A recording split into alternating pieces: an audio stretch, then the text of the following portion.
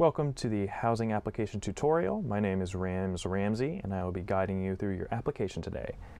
The first thing you're taken to is the welcome page and we are going to hit application at the top.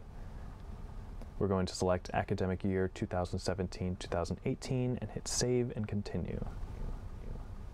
We are brought to the application menu and you can see the steps of the process here um, we're going to click Save and Continue to go on to number two, which is Personal Details. Um, in this menu, just read over everything, fill in the blanks. Um, it's pretty simple, self-explanatory. Um, once we get down to housing referral, um, if somebody has referred housing to you, this is where you would put their full name and their referral code. Um, and once we're all done with that, hit Save and Continue. This is the housing contract page. This is where you will agree to the terms and conditions outlined in the housing contract and community living standards and pay special attention to the cancellation policy. Um, read over that in its entirety and when you're ready, click the checkbox and hit save and continue. Next is the chronic and severe medical conditions page. If you have any medical room needs or dietary requirements that you would like us to know about, please list them here. If not, hit save and continue. This is the profile settings page.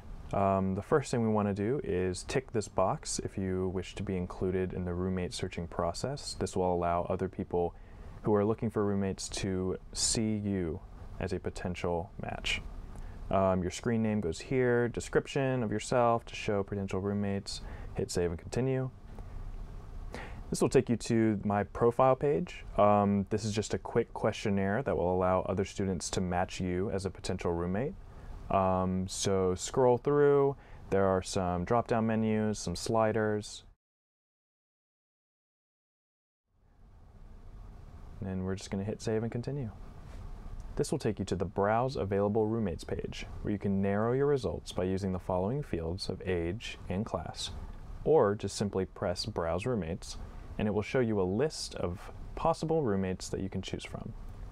A list of roommates will appear based on the compatibility of your questionnaires. Underneath their name is the description, and you can click View Profile or send them a message. If you are a returning student and already know who you want to room with, we're going to skip this step and go to number 8, Roommate Groups. For this to work, someone in your group will need to use Create a Group option and share the group name and password with others. The other members will use the Join Group option using the group name and password. Now an important part is that everybody in the group must complete the housing contract before you join or create the group. Hit save and continue. Next we have building preferences. If you have a residence hall in mind, you can select it to the drop-down menu. Say we wanted to live in Kenan. We would select Kenan, and then we would also get to select which kind of room in Kenan we would want, say a double. We also get to do Building 2 in our preference for Building 2, Carmichael Single, and so on and so on. You must at least have one building selected.